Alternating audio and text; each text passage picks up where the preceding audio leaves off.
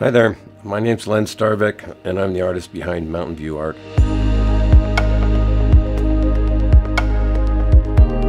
Abalone is a, uh, a shellfish that crawls around in the ocean. is something that used to be able to commercially harvest, and they banned that, and then it was recreational harvest. And in the last few years, it's been uh, shut down. You can't collect any more of it. You know, I was born on the coast there in San Francisco, and uh, my parents had a uh, restaurant bar, uh, and uh, we would always go over there every weekend. And uh, so I started diving abalone as a kid, and uh, dove it all my life. My brother, cousin, we'd get together and, and collect it. And I, I have plenty. I probably have five, ten years worth to make art with. It's been something that uh, seems to be taking off. Uh, getting some custom orders, and uh, I enjoy it. It's therapeutic. Uh, I used to take it and beat it with a hammer and a wet towel so the dust wouldn't fly. The dust isn't good to breathe at all. And then I went to a uh, 3,000 pound steamroller and you doing three or 400 pounds. And I'd wait for a rainstorm and that way it's wet again. And then once it's crushed, I eventually ended up using a cement mixer. And uh, I take a couple handfuls of river rock, let it spin for about a week, five to seven days, and then just wash it and uh, take it out and repeat the process. First, I would start with the repurposed wood, but this is barnwood, it's local.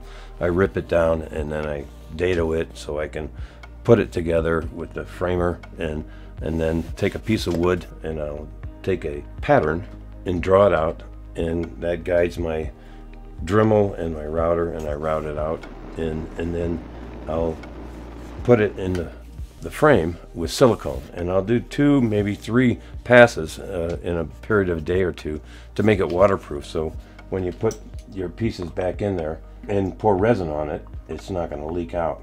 And so once it's set level and then overnight it cures and then put some hardware on the next day and clean up any dribbles that are there. The bigger pieces take a little longer you know uh, but uh, uh, you just puzzle piece it in and if it's a fish or a bird and it has an eye, then I'll start with the eye and go the rest of the way. Finishing the, the art is probably the best part, and, but when the resin goes in, it always has bubbles and you put the heat to it and all of a sudden a flash of clarity opens up and it just says, wow, you know, that looks cool. Uh, uh yeah, I can do custom pieces that are uh, small and uh, you can put in your suitcase. Uh, a tourist can bring home, or I can make a, a, a 55 pound piece custom to whatever you want. Uh, you can put it on your wall in, in your foyer or uh, uh, the bathroom, whatever. um, I like custom pieces, and people often will say, uh, do it whatever you want, whatever you think. You know, you're the artist. Just do what you think is right, and that's what I did with the, the six fish on the walnut. That was fun. It almost looks like they're um, migrating upstream. You know. It just makes a statement, uh, and uh, a lot of people will walk right up to it and touch it because it has dimension, and it's not flat. Nine out of ten people that come into a booth when you have an art show uh, will will reach out and touch it, and it's uh, it's entertaining to see that.